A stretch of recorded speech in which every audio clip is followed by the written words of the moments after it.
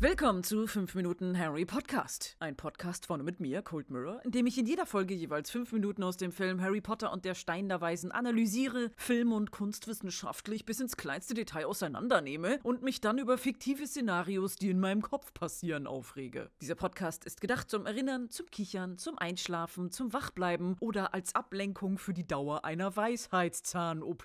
Und jetzt wünsche ich viel Vergnügen bei Folge 20. Wir beginnen in dieser Folge bei Filch, Quirrell und Snape, die zwielichtig in einem dunklen Gang herumstehen und enden bei Dumbledore, der belehrend einen Zeigefinger hebt. Filch hat gerade Snape und Quirrells intimen Moment in der Dunkelheit unterbrochen, um ihnen etwas mitzuteilen. In der einen Hand hat er seine eigene Laterne, um im dunklen Gang überhaupt was zu sehen, und in der anderen eine kaputte Laterne, die Harry in der Bibliothek zerdeppert hat. Er zeigt ihnen Harrys Laterne mit zerbrochenem Glas und verkündet, die hat in der verbotenen Abteilung gelegen.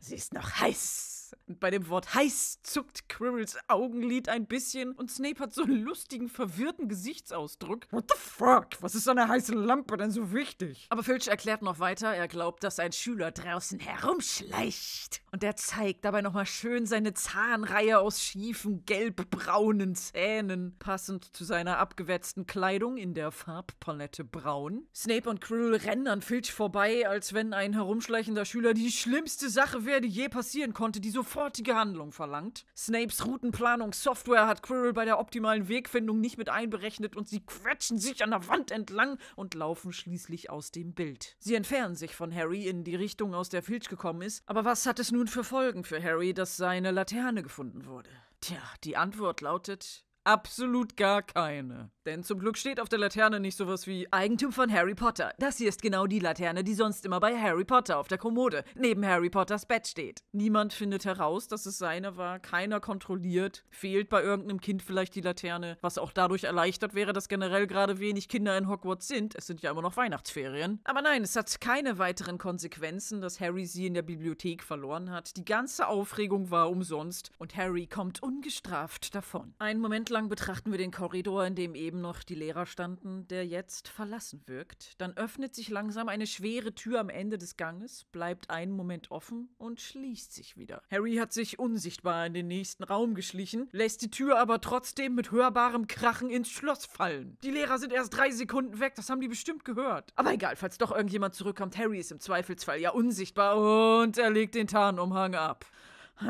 Und er legt ihn auch nicht ordentlich irgendwo hin oder nimmt ihn auf den Arm, sondern lässt ihn auf dem Boden liegen. Den findest du niemals wieder, Harry. Was, wenn der Tarnumhang jetzt mit der unsichtbaren Seite nach außen liegt? Ich leg manchmal Sachen irgendwo hin und finde sie nicht wieder, obwohl sie sichtbar sind. Wie ist das erst, wenn du Dinge, die tatsächlich unsichtbar sind, verbummelst? Harry schaut sich mit skeptischem Blick in dem Raum um, in dem er sich hier versteckt hat. Es sieht ein bisschen so aus wie Snapes Klassenzimmer mit Steinwänden und Säulen mitten im Raum, die einem die Sicht versperren. Und diese Ähnlichkeit ist nicht verwunderlich, denn der Drehort ist wieder mal die Lacock Abbey. Beziehungsweise ich habe es die ganze Zeit falsch ausgesprochen. Ich sage immer Lacock, aber es heißt eigentlich Laycock. Ich bitte meinen Fauxpas zu entschuldigen. Snapes Klassenzimmer war in der Sakristei und nun befinden wir uns im Kapitelhaus der Laycock Abbey. Was ist ein Kapitelhaus? Das ist ein Versammlungsraum in Klostern, in dem, wie der Name vermuten lässt, Kapitel gelesen wurden aus geistlichen Texten oder Ordensregelbüchern und die Klostermitglieder haben sich hier getroffen, um als Gemeinschaft über diverse Arbeiten und Abläufe oder Sünden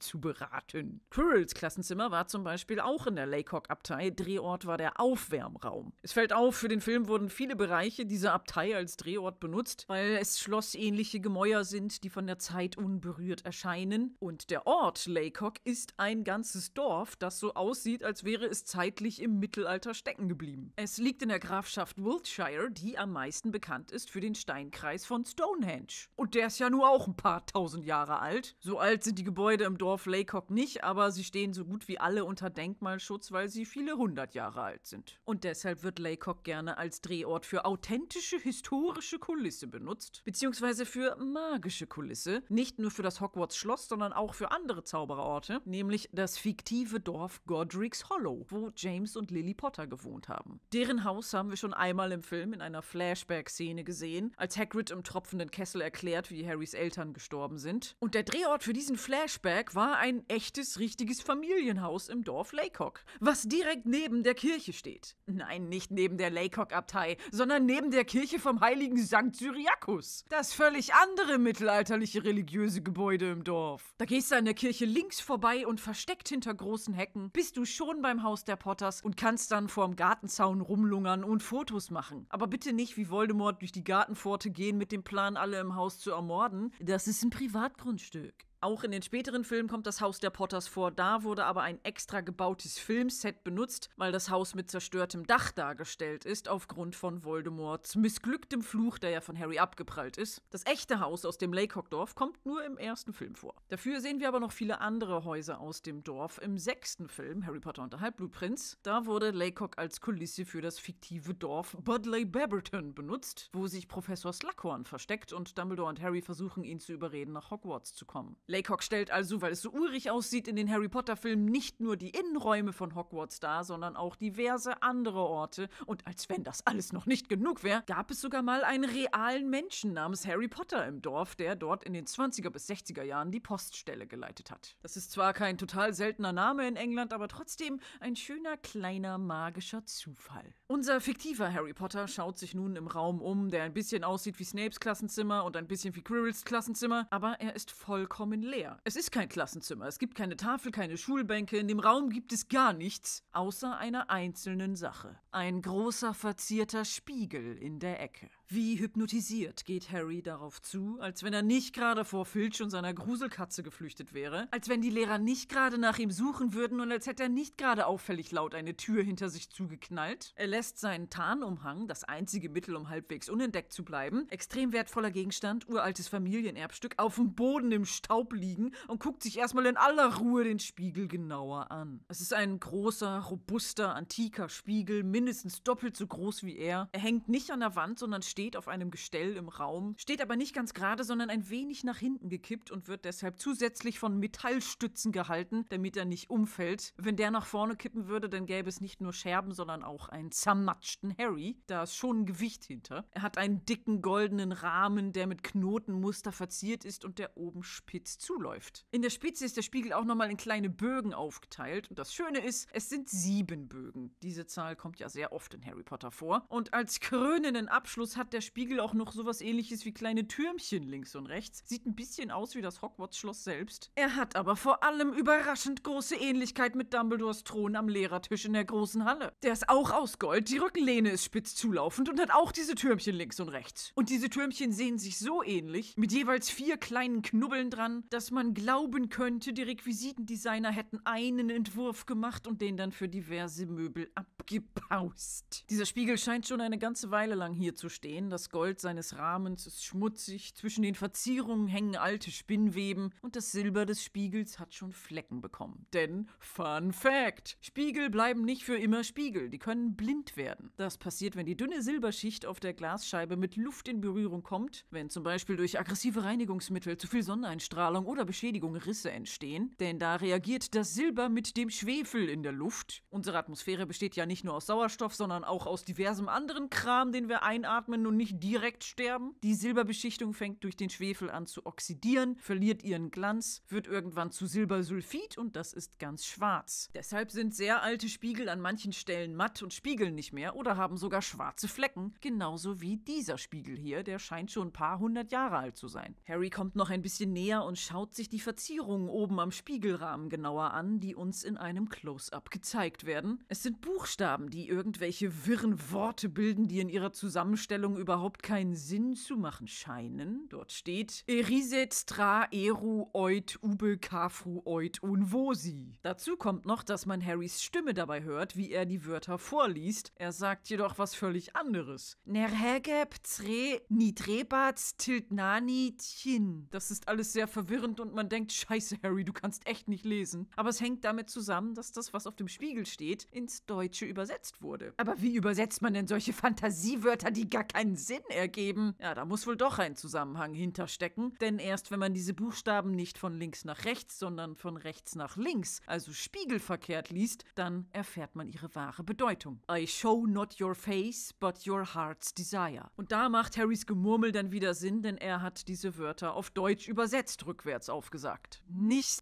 sein Anschluss, aber sein Herz begehren nicht dein Antlitz, aber dein Herz begehren. In der englischen Tonspur liest Harry übrigens überhaupt nichts vor. Da schwenkt die Kamera nur über die Buchstaben und er sagt dabei aber gar nichts. Vielleicht, weil man angenommen hat, dass das deutsche, eher kindliche Publikum sonst denkt, das sind irgendwelche Wörter, die sind nicht deutsch. Alter, ich kann kein Englisch. Wieso wird mir das nicht auf Deutsch vorgelesen? Aber dadurch, dass er andere Wörter vorliest, die kein Deutsch und genauso für sind, wird noch mehr Irritation gestiftet. Vor allem, weil sich im weiteren Verlauf des Films überhaupt nicht mehr mit dem Text am Spiegel Spiegel beschäftigt wird. Nur das allererste Wort wird erwähnt, denn das ist Namensgeber für den Spiegel. Auf Englisch heißt er Mirror of Erased, was Desire spiegelverkehrt ist. Und im Deutschen ist es der Spiegel Nerhegeb, Begehren. Nicht dein Antlitz, aber dein Herz begehren. Das steht da nicht einfach so als Verzierung, sondern es beschreibt, was diesen Spiegel besonders und magisch macht. Harry weiß davon aber noch nichts, kommt dem Spiegel immer näher und plötzlich sieht er etwas darin. Er blinzelt ein paar Mal und kneift die Augen zusammen. Er sieht sich selbst, aber fast transparent, kaum zu sehen, scheinen zwei erwachsene Menschen im Spiegel direkt hinter ihm zu stehen. Und je mehr er auf den Spiegel zugeht, desto deutlicher werden sie, bis er ihre Gesichter erkennt, die ihn anlächeln. Anstatt sich zu erschrecken, dass da anscheinend noch jemand mit ihm im Raum ist, bleibt Harry aber ganz ruhig stehen, als würde da etwas in seinem Unterbewusstsein schon wissen, dass diese Menschen keine Bedrohung für ihn sind. Trotzdem schaut er sich zaghaft um, guckt über die eine Schulter, guckt über die andere. Aber wie wir in der nächsten Einstellung sehen, ist er komplett allein. Niemand steht hinter ihm. Da ist nur der große, weite, leere Raum. Und hier wurde ein bisschen mit der Perspektive getrickst. Eigentlich ist das Kapitelhaus in der Lecoq Abbey recht klein, aber die Kamera steht einmal sehr tief, sodass sie fast auf dem Boden ist und sie ist in der Ecke des Raumes und sie benutzt ein extremes Weitwinkelobjektiv, was dazu führt, dass der Raum viel größer erscheint, als er in Wahrheit ist. Durch die Kameraposition auf dem Boden wirkt die Decke des Raumes weiter entfernt und viel höher. Dadurch, dass sie in der Ecke ist, ist, schauen wir nicht die Breite oder Länge des Raumes an, sondern die Diagonale. Damit holt man nochmal ein paar Meter raus. Und durch das Weitwinkelobjektiv entsteht so eine Überwachungskamera-Fischaugenoptik, wie man sie bei der Szene, wo die Kinder zum ersten Mal in den Gemeinschaftsraum gehen, schon gesehen hat. Da hat man das benutzt, damit man den ganzen Raum mit all seinen gemütlichen Accessoires auf einmal sehen kann. Aber hier ist es das genaue Gegenteil. Man sieht den ganzen leeren Raum mit all seinem Nichts auf einmal und den kleinen einsamen Harry verloren mittendrin. Es ist also nicht nur ein Stil Stilmittel, um den Raum optisch größer zu machen, sondern auch um Harry kleiner zu machen und das Gefühl von Einsamkeit zu vermitteln, das ihn umgibt. Denn was spiegelt sich im Spiegel Nerhegeb, dem Spiegel des Begehrens für Harry? Was sind das für erwachsene Personen, die ihn anschauen? Er verrät es dem Zuschauer, denn er sagt ganz leise und ein wenig überrascht: Mom,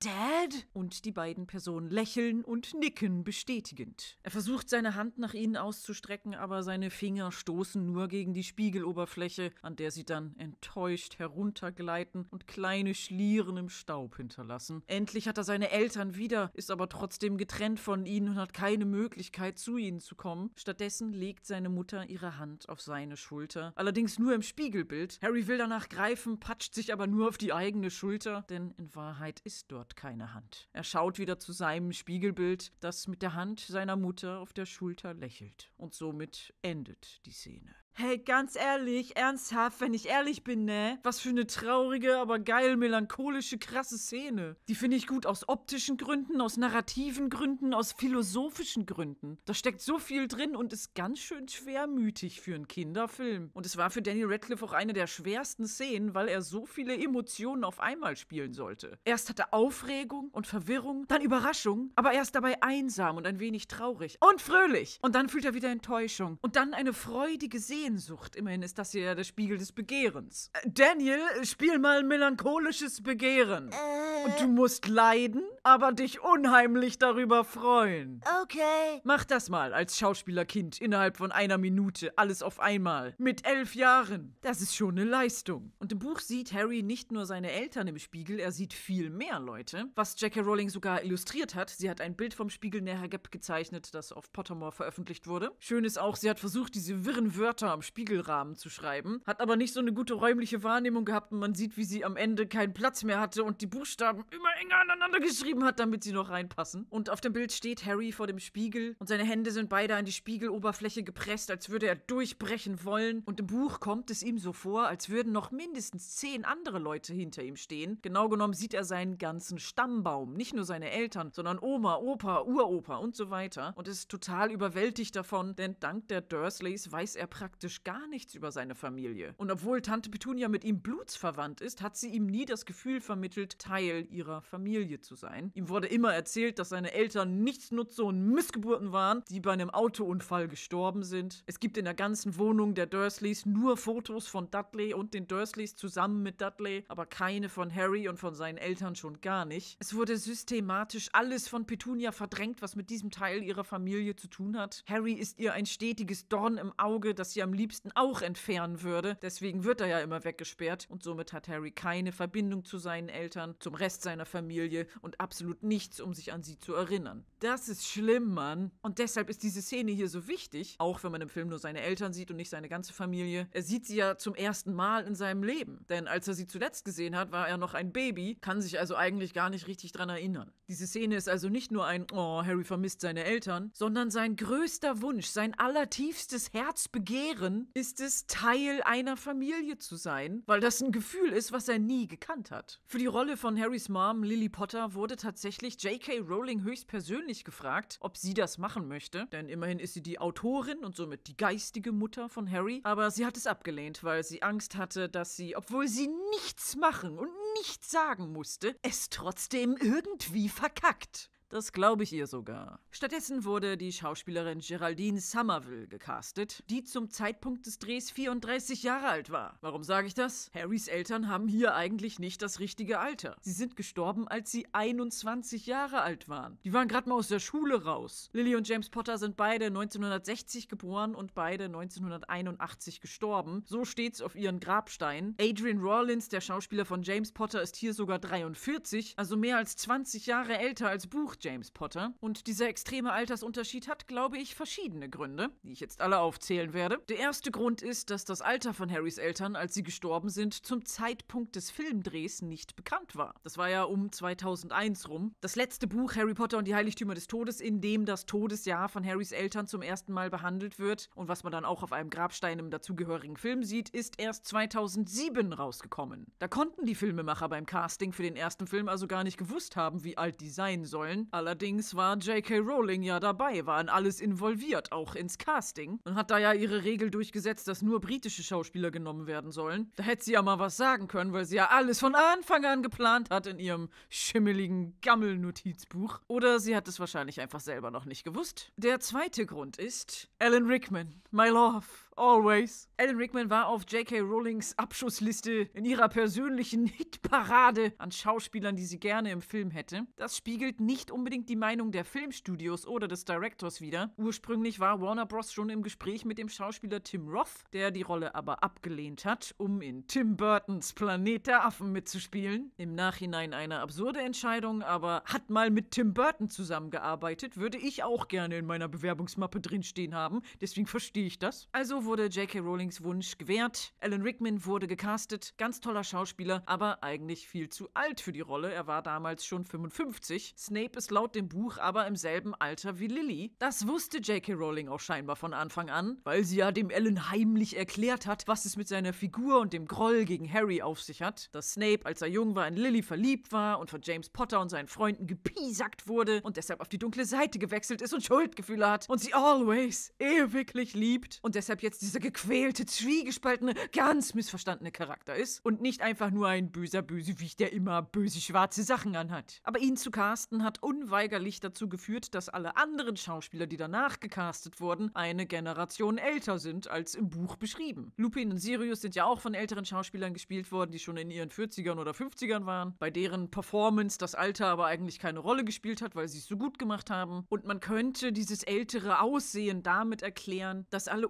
unglaublichem Stress ausgesetzt waren, der ja bekanntermaßen dazu führt, dass man vorzeitig altert. Lupin sieht oft krank und erschöpft aus, weil er sich regelmäßig in einen Werwolf verwandelt. Und er ist auch so beschrieben, dass er, obwohl er jung ist, schon Falten und graue Haare hat. Sirius war zwölf Jahre im Zauberergefängnis Azkaban. Das war nicht gerade ein Wellnessurlaub. Und Snape hat die ganze Zeit in einem dunklen Keller umgeben von giftigen Zaubertrankgasen und albernen Zauberstabgefuchtel-Kiddies verbracht. Deswegen ist er 30, aber sieht aus wie 50. Wegen Alan Rickman sehen James und Lily Potter jetzt auch ein bisschen älter aus, könnte man aber dadurch erklären, dass sie verlebt sind aufgrund des Stresses vom Kampf gegen Voldemort. Die dritte Begründung hat mit dem Betrachter der Szene selbst zu tun, mit Ihnen, werter Zuhörer. Denn was hätte es für ein Gefühl im Zuschauer ausgelöst, wenn Harry im Spiegel zwei 20-Jährige sieht? Man muss sich das so vorstellen. Mini Daniel Radcliffe als Elfjähriger guckt in den Spiegel und sieht Daniel Radcliffe aus dem letzten Film. Da war er nämlich schon über 20. Immerhin ist sein Begehr ja, ein Familiengefühl zu haben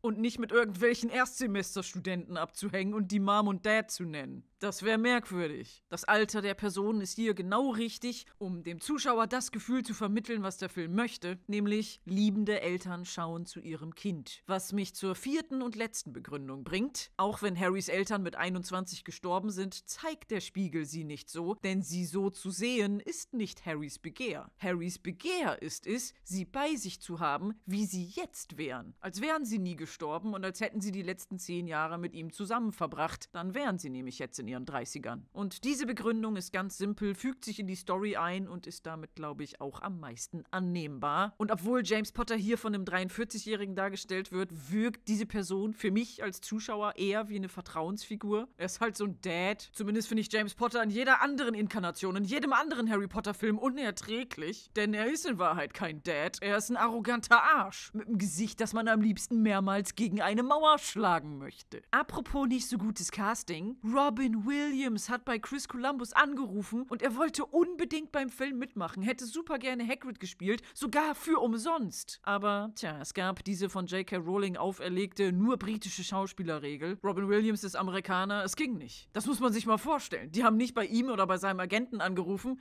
er hat die angerufen und will mitmachen, will kein Geld und sie haben Nein gesagt. Nix gegen Robbie Coltrane, ja? Aber Robin Williams abzulehnen, das muss echt schwer gewesen sein. Wobei diese nur britische Schauspielerregel eh nicht ganz eingehalten wurde. Susan Bones, das Mädchen, das von McGonagall bei der Szene mit dem sprechenden Hut aufgerufen wurde, wird gespielt von einer Amerikanerin, nämlich Eleanor Columbus, die Tochter von Chris Columbus, dem Director des Films. Zu Robin Williams sagt er Nein, aber die eigenen Kinder schmuggelt er in den Film. Nepotismus nennt man sowas. Und das ist noch nicht alles. Der Kobold Griphook, der in der Zaubererbank Gringotts arbeitet und Harry und Hagrid zum Verlies führt, wird gespielt von Vern Troyer, bekannt als Mini-Me im Film Austin Powers. Der ist auch Amerikaner, wird in dieser Gringotts-Szene aber gesprochen von Warwick Davis, der wiederum sowohl den Empfangskobold als auch Professor Flitwick spielt. Er musste Vern Troyer aber nicht synchronisieren, weil der so undeutlich amerikanisch spricht, sondern weil es in der Regel von J.K. Rowling ein Loophole gibt. Die Regel besagt nämlich, nur britische Schauspieler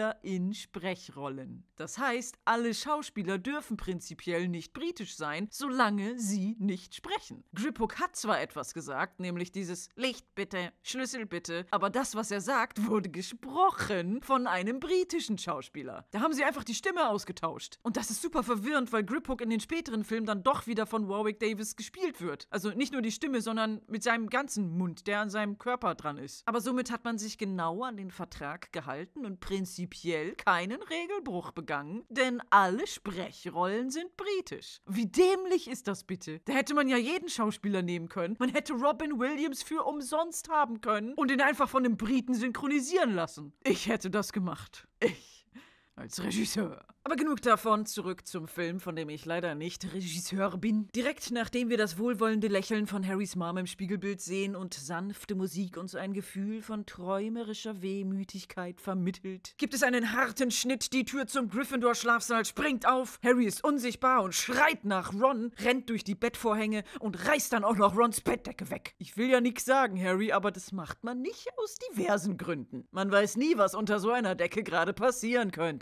Und um diesen Effekt zu erzielen, dass es so aussieht, als würde jemand Unsichtbares die Bettdecke wegziehen, hat man sich eines ganz klassischen alten Tricks bedient. Die Decke ist an einer Schnur befestigt, die jemand außerhalb von der Kamera zieht, sodass die Decke runterrutscht. Woher weiß ich das? Die Schnur ist unten rechts im Bild zu sehen. Tja, aber warum irgendein Geschiss mit Greenscreen und CGI machen, wenn es so einfach geht? Eine leer gefutterte Packung Bertie Botts Bohnen liegt im Hintergrund auf der Kommode. Und was erblicken meine Augen noch im Hintergrund an der Wand? Einen Spiegel, der genauso aussieht wie der Spiegel in der Haggab, nur in klein und aus Holz. Ab jetzt ist klar, das ist ein wiederkehrendes Design. Und es ist wieder so ein Moment, in dem ich mich frage, ob es Zufall ist, dass dieser Dekospiegel im Hintergrund platziert wurde oder ob es Absicht war. Normalerweise schaut man sich bei Filmen ja nicht intensiv den Hintergrund an. Das machen nur Bekloppte. Aber ich finde, das Thema Spiegelbilder bleibt dadurch unterbewusst im Kopf. Es schafft eine geistige Brücke zwischen zwei Szenen, denn es ist nicht das letzte Mal, dass wir den Spiegel in der Haggab gesehen haben. Der kommt gleich direkt wieder vor. Harry schmeißt Fabulous seinen Tarnumhang von den Schultern und lässt ihn schon wieder auf dem Boden liegen und schreit den im Bett liegenden Ron abermals hysterisch an. Ron, das musst du sehen! Ron, Ron, komm raus aus dem Bett, komm schon, Ron! Während er direkt vor ihm steht. Ron ist ganz verschlafen und fragt, wieso? Als hätte er vergessen, dass ihr Plan war, etwas in der verbotenen Abteilung der Bibliothek über Nicolas Flamel rauszufinden. Was Harry eventuell gerade getan haben könnte. Das ist der Grund, warum Harry überhaupt mit dem Tarnumhang in dieser Nacht unterwegs war. Das wusste Ron doch. Oder nicht? Ist Harrys Aktion heute Nacht loszutigern ohne ihn passiert? Haben die beiden das nicht geplant? Harry trägt auch normale Klamotten, während Ron einen Schlafanzug anhat. Harry hat sich also heimlich in der Nacht komplett angezogen oder war die ganze Zeit angezogen? Wusste Ron Bescheid, ist aber, weil er keinen Bock mehr hatte, auf Harry zu warten, einfach schlafen gegangen? Wer weiß, wie lange Harry schon vor dem Spiegel gestanden und seine Eltern begafft hat. Vielleicht war Ron dann einfach zu müde und seine Frage, wieso, kommt durch Schläfrigkeit. Aber Harry erklärt nicht wieso und macht stattdessen etwas, was ich in Filmen immer richtig blöd finde. Er sagt, ich muss dir unbedingt was zeigen, jetzt komm schon. Okay, was? Erklär mir, was du mir zeigen willst. Anstatt zu sagen, was so wichtig ist, wiederholen die Leute in Filmen immer wieder, dass es da etwas Wichtiges gibt, das sie unbedingt zeigen müssen. Und Harry macht das so hysterisch, als hätte er gar keine Zeit, alles zu erklären. Natürlich, damit die spannende Story und das Drama vorangetrieben wird. Aber in Wahrheit passiert sowas nicht. Ich wäre richtig angepisst, wenn mich jemand mitten in der Nacht aufweckt und dann nicht sagt, was los ist. Ich muss dir was zeigen, das musst du sehen. Ist es eine interessante Sternenformation? Wenn nicht, dann hat es keine Wichtigkeit. Brennt die Wohnung von den Nachbarn? Egal, weck mich erst wieder auf, wenn meine Wohnung brennt. Alles andere kann warten, lass mich schlafen. Harry hat einige Sekunden damit verschwendet, Ron mitzuteilen, dass er sich unbedingt etwas ansehen muss. Diese Sekunden hätte er auch nutzen können, um in einem Satz zu sagen, um was es sich handelt. Ich habe einen magischen Spiegel gefunden, mega geil. Da sind meine toten Eltern drin. Ich war voll traurig und fröhlich. Kommst du mit? Aber das passiert nicht. Stattdessen wird nix von Harry erklärt. Es gibt einen Schnitt und wir sind wieder in dem Raum, in dem sich der Spiegel näher Gap befindet. Die Tür geht auf und Harry und Ron kommen unsichtbar hindurch. Da es einen Schnitt gab, ist für den Zuschauer keine Zeit vergangen. In Wahrheit hat Ron sich aus dem Bett gerappelt, sich die Schuhe angezogen. Dann haben sie sich zusammen unter den Tarnumhang vorsichtig durch die Gänge geschlichen. Sind ja vielleicht noch Lehrer unterwegs. Dann mussten sie auch noch die sich ständig bewegende Treppe des Todes benutzen. Die Bibliothek ist nämlich in einem anderen Stockwerk als der Gryffindor-Gemeinschaftsraum. Und dann haben sie sich bestimmt ein paar Mal verlaufen, bis Harry diesen Raum zufällig wiedergefunden hat. Obwohl sie all diese Zeit hatten, konnte Harry nicht mal eben im Jungschlafsaal erklären, was auch immer er zeigen will. Für den Zuschauer wurde diese Zeit aber natürlich übersprungen, um Spannung zu erzeugen, die wir jetzt spüren. Hui, wie wird Ron wohl reagieren, wenn er Harrys Eltern sieht? Was bin ich gespannt? Harry und Ron werfen den Umhang ab und lassen ihn schon wieder irgendwo auf dem Boden im Dreck liegen. Das war ein Weihnachtsgeschenk von Harrys verstorbenem Vater. Und der Umhang ist wahnsinnig selten, hat Ron selber gesagt. Die gehen damit um, als wär's nur olle Hunde Hundedecke. Harry zerrt an Ron rum. Komm, komm mit! Sie rennen von der Tür weg in den Raum rein und genau hier haben die Leute vom Special Effects Team geschlampt. Beziehungsweise ich muss mich einmal selber korrigieren. Ich habe geschlampt. Ich sag immer Special Effects als Sammelbegriff für alle besonderen Effekte, die so im Film passieren. Aber das ist nicht richtig. Es gibt da einen Unterschied zwischen Special und Visual Effect. Ein Special Effect ist alles, was am Set vor Ort passiert. Und ein Visual Effect ist alles, was im Nachhinein am Computer passiert. Das geht bei diesem Film natürlich Hand in Hand. Die arbeiten zusammen, die Teams. Aber ich berichtige meinen Satz von eben wie folgt. Die Leute vom Visual Effects Team haben geschlampt. Hm, aber was wurde in dieser Szene denn am Computer gemacht? Tja, in der letzten Podcast-Folge habe ich ja schon erklärt, dass der Unsichtbarkeitseffekt vom Tarnumhang so funktioniert, dass der Stoff auf einer Seite grün ist, damit dieser Teil dann am Computer unsichtbar gemacht wird. Und in dieser Szene wurde vergessen, das Grün wegzuretuschieren. Harry und Ron rennen auf den Spiegel zu und was liegt im Hintergrund in der Nähe der Tür, unachtsam hingeschmissen auf den Boden? Der quietschegrüne, überhaupt nicht getarnte Stoff vom Umhang. Vielleicht war es in der Bewegung der Kamera und des daraus resultierenden Verwischen des Bildes nicht möglich, das Grün genau zu erfassen. Da haben sich die Leute vom Visual Effects Team bestimmt gedacht, ach komm, der ist nur 17 Frames lang zu sehen. Weniger als eine Sekunde. Das ist nicht so schlimm, das entgeht der Aufmerksamkeit des gewöhnlichen Zuschauers. Aber trotzdem ist das ein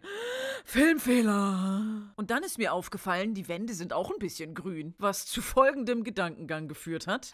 Grüner Umhang. Die Wand ist auch grün. Warum ist sie grün? Ist das Schmutz? Ist das eine natürliche Verfärbung im Stein? Was ist das überhaupt für ein Stein? Was ist das für Baumaterial? Woraus wurde die Laycock Abbey gebaut? Diese Fragen haben mir mal wieder und wie immer keine Ruhe gelassen, bis ich Antworten gefunden habe und die sind sogar recht interessant. Die meisten alten Gebäude in Laycock und auch die Laycock Abbey wurden gebaut aus sogenanntem Cotswold-Kalkstein. Nein, das ist kein geiler Vergnügungspark, der nur aus Achterbahnen besteht und keine widerliche Welt aus Kotze, sondern die Cotswolds sind eine sehr hübsche Hügellandschaft in England, unter der sich viel Kalkstein befindet. Genau genommen Olit-Kalkstein aus der Jurazeit. Olit ist Sedimentgestein aus kleinen Mineralkügelchen. Das heißt, dieser Stein war vor sehr langer Zeit einmal Meeresboden. Gehäuse von toten Tieren wie Schnecken, Muscheln, Krebschen sind durch Wellenbewegung mit der Zeit zu kleinen Kügelchen gerollt worden, die sich dann irgendwann abgelagert und verfestigt haben.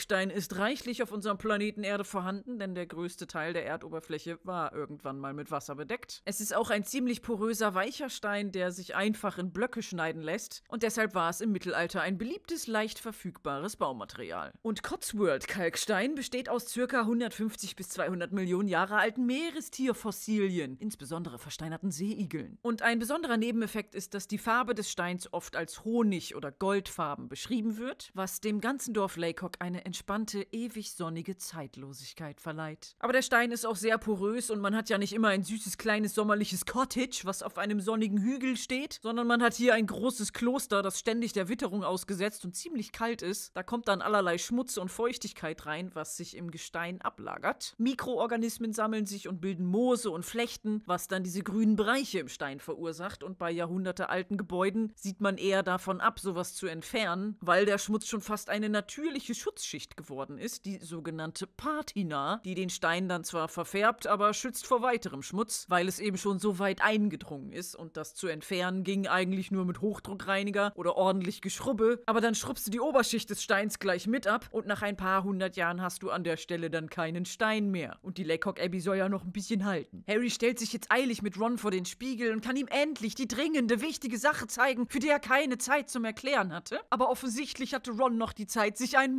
Morgenmantel anzuziehen. Kein schickes Modell von Hogwarts und Gryffindor-Farben, sondern braun mit braun kariertem Innenstoff. Und es ist auf jeden Fall ein typisches Weasley-Kleidungsstück. Zu erkennen an den kleinen Flicken, die am Ärmel aufgenäht sind, die farblich nicht zum Rest des Stoffes passen. An der Schulter sind auch einige Löcher gestopft worden. Das ist mal wieder Secondhand und weil die Ärmel auch hochgekrempelt sind, würde es mich nicht wundern, wenn dieser Morgenmantel vorher einem seiner älteren, schon erwachsenen Brüder oder seinem Dad gehört hat. Er ist jedenfalls eine Nummer zu groß für Ron. Und hier kann man schön die Parallele zu Harry ziehen, der zwar jetzt in Hogwarts immer seine schicken, heilen, gut passenden Pullis trägt, die er sich in der Winkelgasse in allen Farben gekauft hat, aber das ist nicht selbstverständlich für ihn. Harry hat auch lange Zeit zerschlissene Hosen und löchrige T-Shirts getragen, die ihm viel zu groß waren, genau wie Ron, mit dem Unterschied, dass Rons Familie es sich nicht leisten kann, für jedes Kind neue Sachen zu kaufen. Man hat das, was man hatte, so gut es ging, mit dem Material, was da war, geflickt. Da wurde Arbeit und Mühe reingesteckt, um es so lange wie möglich zu erhalten. Harry hingegen hingegen hat die ganzen alten Sachen von Dudley und Vernon bekommen, nicht weil die Dursleys sich nichts Neues leisten können, sondern weil Harry für sie nichts wert war. Es war unnötig, dass er was Neues bekommt. Die Sachen wurden nicht mit Mühe geflickt, sondern wie alte Fetzen, die man nicht mehr braucht, mit Harry zusammen in den Schrank geschmissen. Und das ist der Unterschied zwischen Harry und Ron. Obwohl sie beide oft Secondhand-Klamotten tragen mussten, war das Gefühl dabei jedoch unterschiedlich. Harry hatte nie das Gefühl, Teil einer Familie zu sein, während Ron eine Riesenfamilie hat und oft das Gefühl hat, dabei zu kurz zu kommen. Deshalb sieht Harry seine Eltern im Spiegel des Begehrens und nun erfahren wir, dass Ron darin etwas anderes sieht. Denn Harry tritt zur Seite und er hat die fälschliche Annahme, dieser Spiegel zeigt nur seine Eltern und dass Ron sie jetzt auch sehen kann, aber das passiert nicht. Es ist nicht der Harrys Elternspiegel, sondern der Spiegel des Begehrens. Und als Ron allein davor steht, fängt er an zu grinsen und zu staunen. Harry will erklären, das sind meine, aber Ron unterbricht ihn, das bin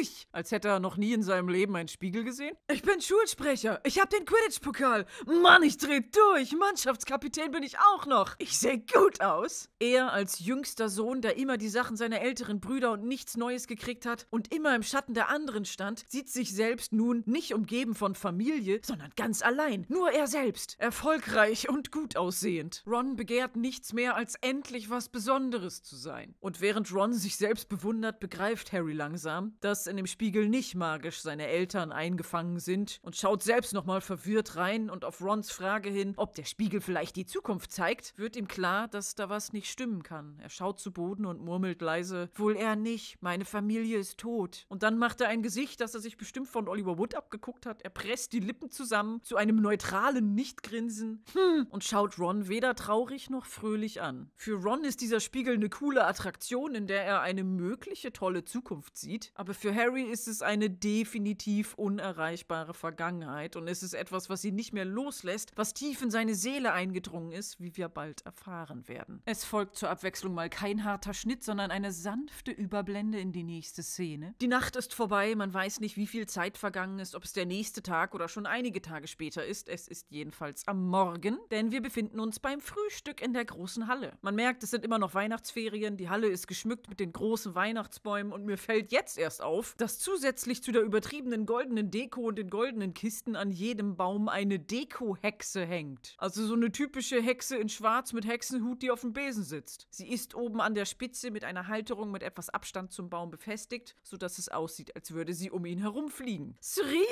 Ich finde, der Baum ist noch nicht beladen genug, Cyril. Der Weihnachtsbaum hat noch gar nichts mit Magie zu tun. Den müssen wir viel extravaganter gestalten, Cyril. Cyril, wir müssen was ranmachen, damit man merkt, dass es sich um eine Schule für Hexerei und Zauberei handelt. Wie war das? Wir hängen einfach eine Hexe dran?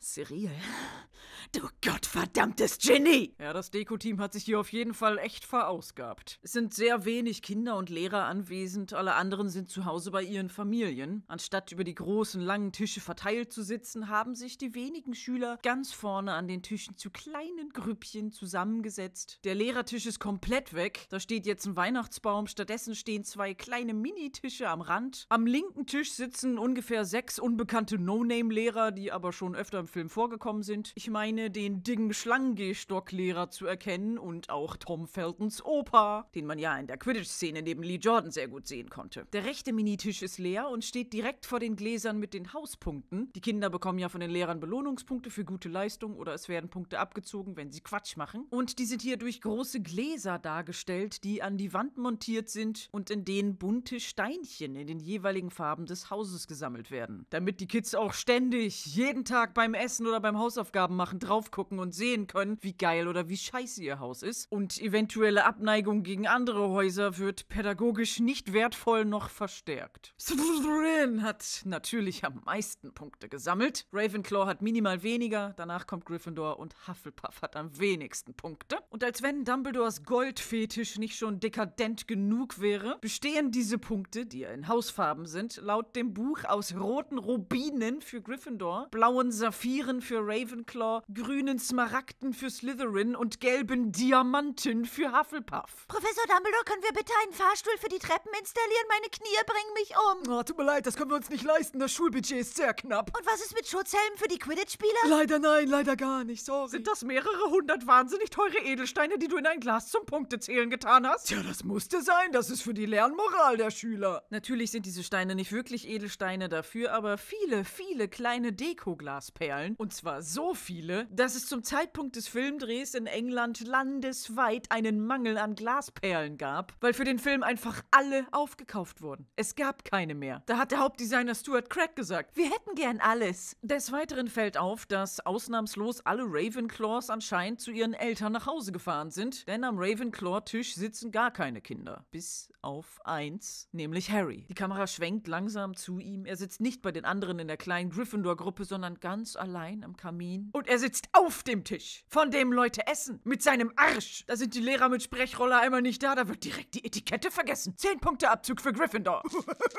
Rubine! Apropos Essen, die Einstellung wechselt und wir sehen die Weasley-Zwillinge Ron, Percy und diverse Statistenkinder zusammen beim Frühstück. Alle sind am Futtern, nur Ron guckt mitleidig zu Harry rüber. Der merkt, dass da irgendwas nicht in Ordnung ist, aber beschäftigen wir uns vorerst mit viel wichtigeren Dingen, nämlich was es zum Frühstück gibt. Und ich sehe schon wieder diesen verdammten Toast-Rack mit viel zu braunem, pappigen Toast darin aufgereiht. Daneben ein paar hart gekochte Eier, eine Schweinskopfkaraffe mit Milch und eine mit Orangensaft, ein Riegel Butter und weil Weihnachten ist, gibt es auch ein paar goldene Knallbonbons und eine Schüssel mit wunderschönen Mandarinen drin. Oder Clementine. Fun Fact: Mandarinen stammen ursprünglich aus China und sind dort schon seit vielen tausend Jahren kultiviert worden. Clementine gibt es erst seit circa 100 Jahren und das ist eine zufällige Kreuzung zwischen Mandarine und Orange. Wobei die Orange eine Kreuzung aus Mandarine und Pampelmuse ist. Das heißt, die Clementine ist zu drei Vierteln eine Mandarine. Clementinen haben fast gar keine Kerne und sind deshalb beliebter und sie sind auch länger haltbar, denn sie haben zwar augenscheinlich eine dünnere Schale, die ist aber robuster als die dick aussehende Schale der Mandarine. Mandarinen haben einige Kerne und werden nicht mehr so oft gehandelt, da sie schon nach wenigen Wochen matschig werden. Und dann hat man eine gammlige, schimmlige Mandarine. Das ekligste und abstoßendste, was es auf der Welt gibt. Laut dem Nachbarskind, was mich mal als sowas bezeichnet hat. Aber im Handel werden beide Sorten unter dem Sammelbegriff Mandarinen zusammengefasst. Darum halte ich mich jetzt mal daran und wiederhole nochmal. Eine Schüssel mit wunderschönen Mandarinen. Sogar mit grünen Blättchen dran. Ich mag sowas. Offensichtlich hat jedes der Weasley-Kinder einen selbstgestrickten Pulli von Molly Weasley zu Weihnachten bekommen. Rons Pulli haben wir ja schon gesehen und nun können wir auch die von George und Fred begutachten. Sie sind beide grün mit ihren jeweiligen Namensanfangsbuchstaben G und F vorne drauf.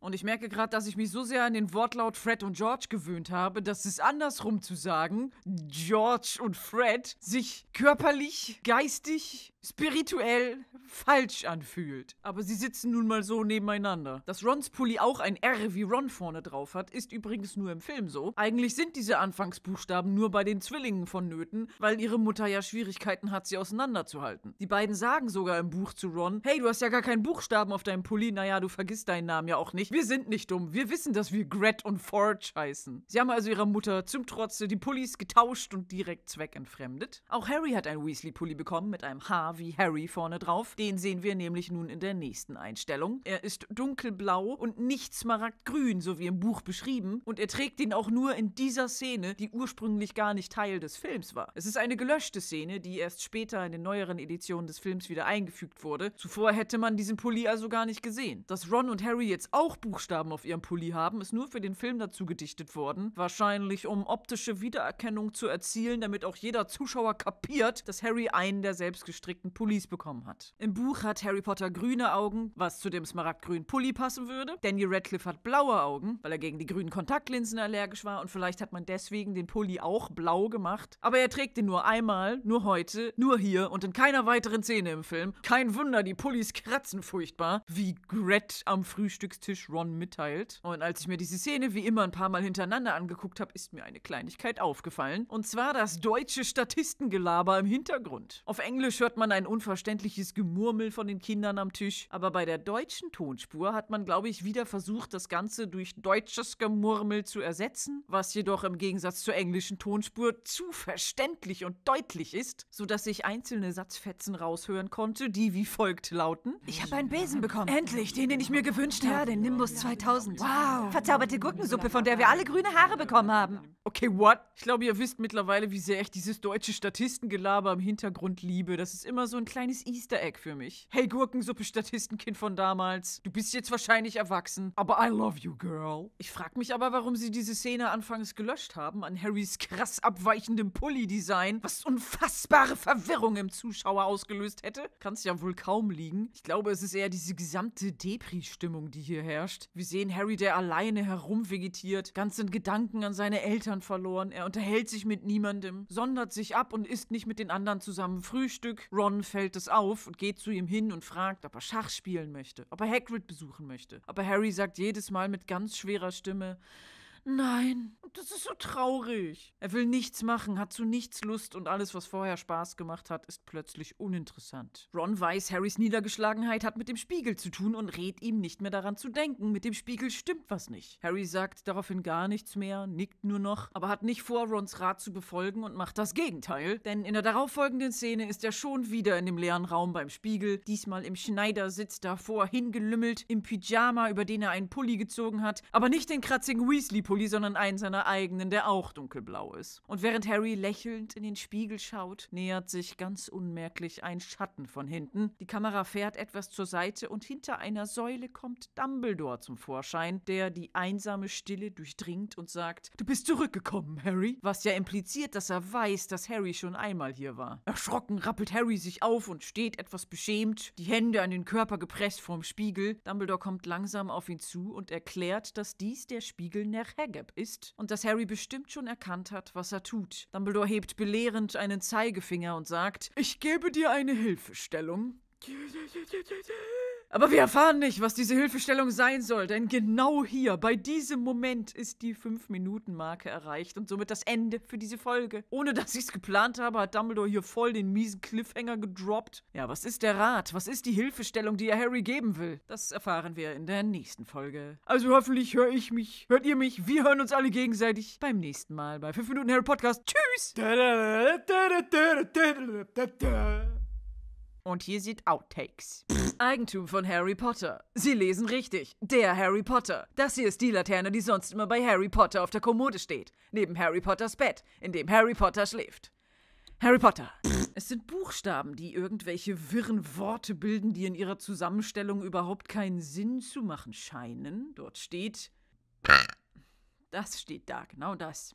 In der englischen Tonspur liest Upsalalala, da bin ich gegen das Mikro gekommen. Ich hätte das gemacht. Ich. Als Regisseur. Ah, ich hab mein Mikro voll gesabbert. Dieses Wort, ne? Regisseur. Es heißt doch Regie. Regisseur. Regie. Regi Kacke, Mann. Da es einen Schnitt gab, ist für den Schu Zuschauer. Tschu Das bin ich! Als hätte er noch nie in seinem Spiegel. Als hätte er noch nie in seinem Spiegel ein Leben gesehen. Kennt man, ne?